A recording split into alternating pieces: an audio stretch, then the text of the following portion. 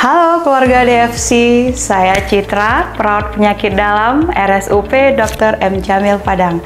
Kali ini kita akan mempraktekkan senam kaki diabetes. Tujuan senam kaki diabetes yang pertama membantu memperbaiki sirkulasi darah pada kaki.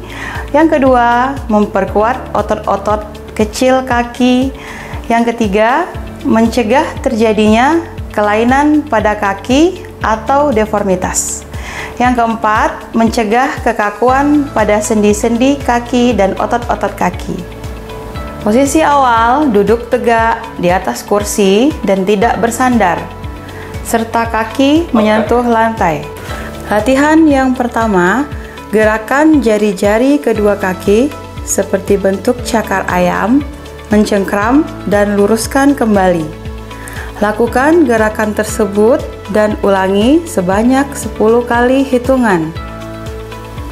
Latihan yang kedua, angkat ujung-ujung kaki, tumit tetap diletakkan di atas lantai, lalu turunkan ujung kaki, kemudian angkat tumitnya dan turunkan kembali.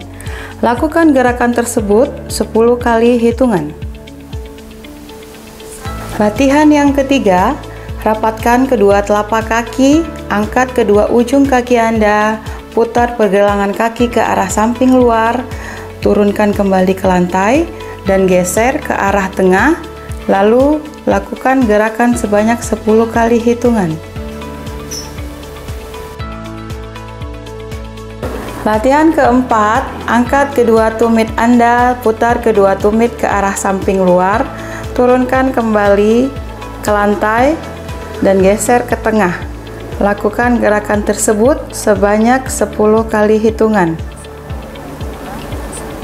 Latihan kelima, angkat salah satu lutut Anda, luruskan kaki Anda, gerakkan atau dorong jari-jari Anda ke depan dan tahan selama 5 detik, lalu turunkan kembali kaki Anda.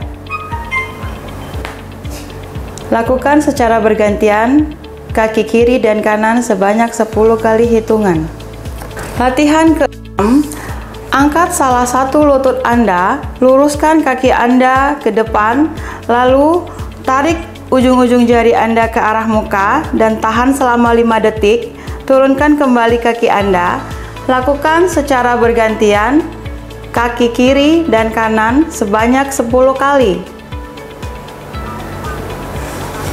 Latihan ketujuh, angkat kedua kaki Anda di atas lantai, Luruskan kedua kaki tersebut, tarik ujung-ujung jari ke arah muka dan tahan selama 5 detik.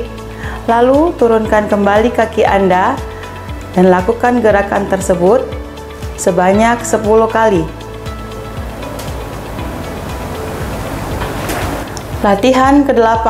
Angkat kedua kaki Anda, luruskan kedua kaki dan pertahankan posisi tersebut Gerakkan kaki Anda pada pergelangan kaki ke depan dan ke belakang sebanyak 10 kali hitungan. Turunkan kembali kaki Anda. Latihan 9. Angkat salah satu kaki dan luruskan. Gerakkan pergelangan kaki membentuk angka 0, 1, 2, 3, 4, 5, 6, 7, 8, 9. Turunkan kaki Anda, lakukan gerakan tersebut secara bergantian pada kaki kiri dan kanan.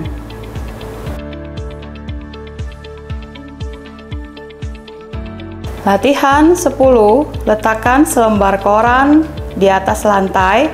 Bentuk koran tersebut menjadi seperti bola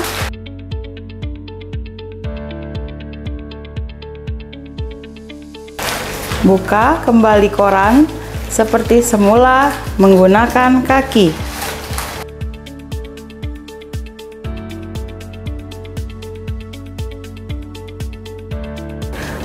Robek koran menjadi dua bagian menggunakan kaki.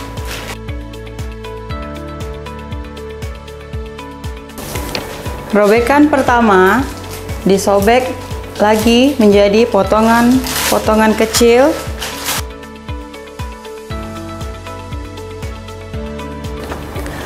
Lalu, pindahkan kumpulan potongan kecil tersebut ke atas kertas kedua yang masih utuh.